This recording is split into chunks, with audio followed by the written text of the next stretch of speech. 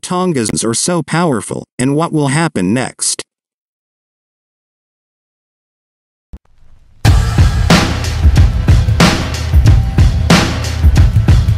When hot magma rapidly bursts out of the ground and encounters cold water, this fuel-coolant interaction can be a Kins-grade chemical explosion. Previous eruptions on the Hunga Islands could indicate the system is being recharged for a once-in-a-thousand-year event like last week. The Kingdom of Tonga doesn't often attract the world's attention, but the massive eruption of an underwater volcano on January 15 sent a shockwave, literally, around the world.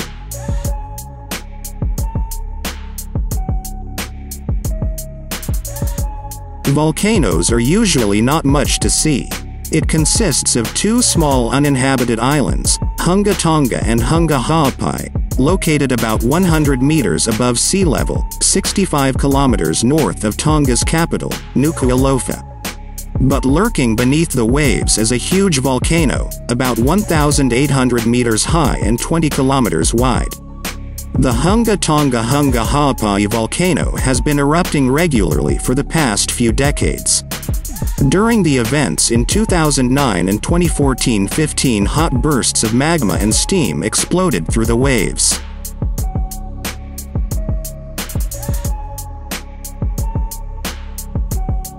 But these eruptions were small, dwarfed in scale by the January events.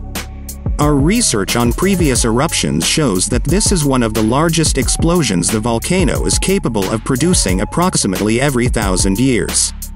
Why are volcanic eruptions so explosive, given that seawater is supposed to cool magma?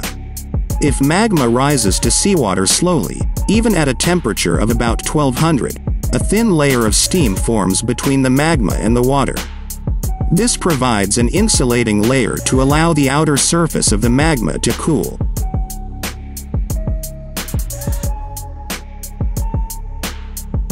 But this process is not successful when magma is ejected from the ground full of volcanic gases.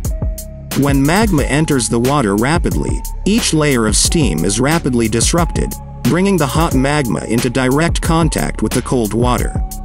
Volcano researchers call this a fuel-coolant interaction, and it's akin to a weapons-grade chemical explosion. An extremely powerful explosion tore through the magma.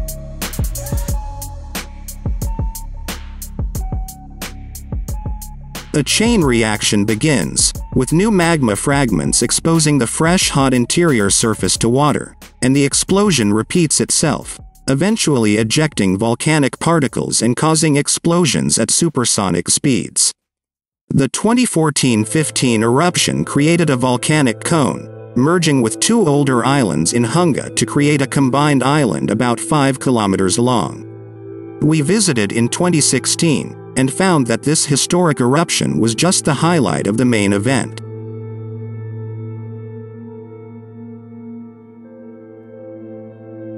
Mapping the seabed, we found a hidden caldera 150 meters below the waves.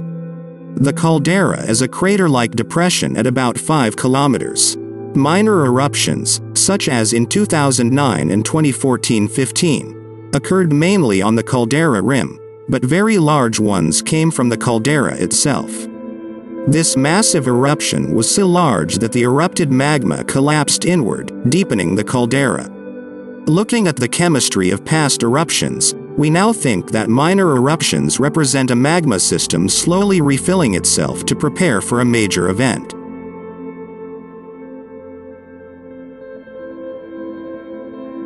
We found evidence of two past major eruptions of the Hunga caldera in deposits on the old islands. We matched this chemically to volcanic ash deposits on the largest inhabited island of Tongatapu, 65 kilometers away, and then used radiocarbon dating to show that the major caldera eruptions occurred around 1000 years old, with the last one in 1100 AD.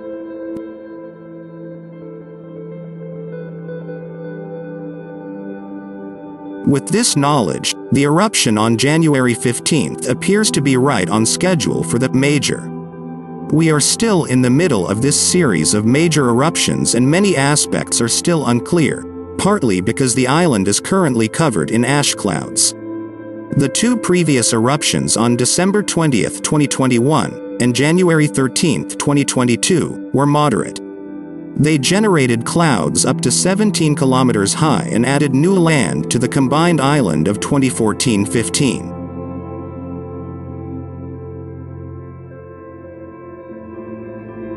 Recent eruptions have raised the scale in terms of violence. The ash plume has reached a height of about 20 kilometers. Most remarkably, it spread out almost concentrically at a distance of about 130 kilometers from the volcano, creating a plume with a diameter of 260 kilometers, before being distorted by the wind. This demonstrates the enormous power of the explosion, which cannot be explained solely by magma-water interactions. This indicates that a large amount of fresh gas-laden magma has erupted from the caldera.